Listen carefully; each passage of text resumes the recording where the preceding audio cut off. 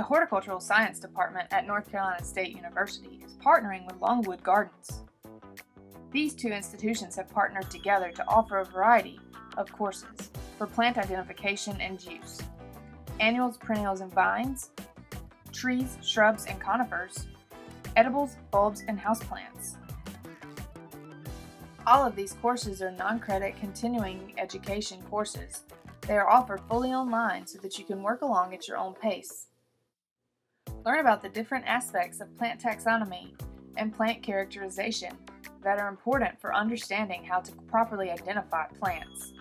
This course uses immersive photos and high quality videos to walk you through the plant identification components.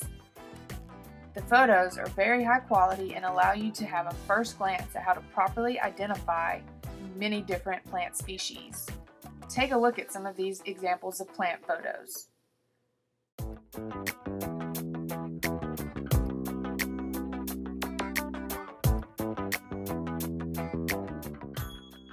more information regarding these courses and to register, please visit the link you see shown here on the screen.